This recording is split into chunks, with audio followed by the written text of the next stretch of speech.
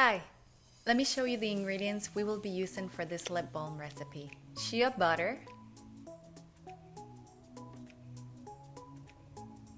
Candelilla wax,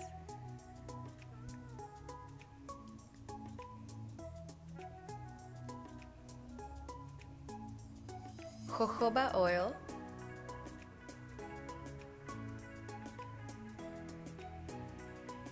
castor oil,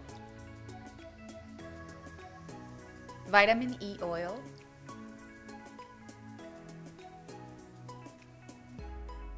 olive oil.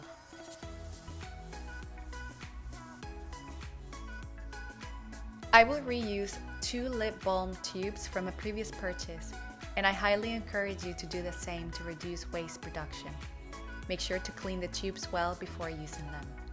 It's necessary to melt the shea butter and the Candelilla wax, so I'll use an oil burner for this. We will need 3 grams of shea butter equal to a teaspoon.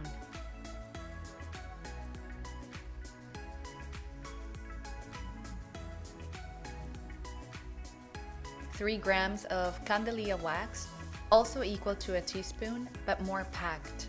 Add these two ingredients to the oil burner and let them start melting while we prepare the rest of the ingredients. Now we'll need roughly 6 ml of olive and castor oil and I'll use this 20 ml container to help me arrive at a more accurate quantity.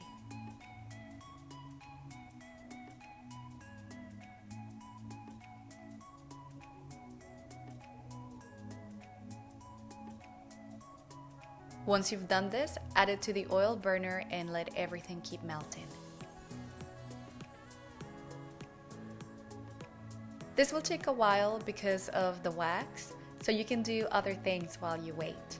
You can read, meditate, do a breathing exercise, take a nap, do whatever you want. Just make sure to check on this regularly.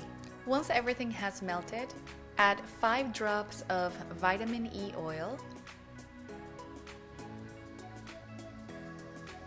and 5 drops of jojoba oil.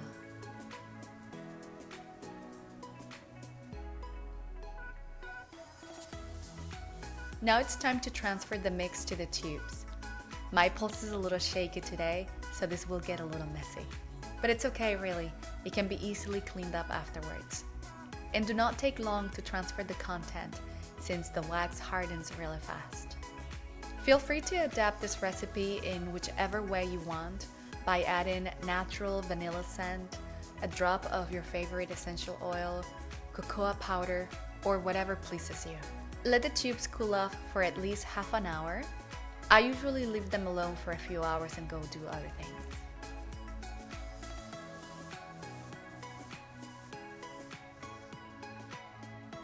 And once time has passed, this is the final result.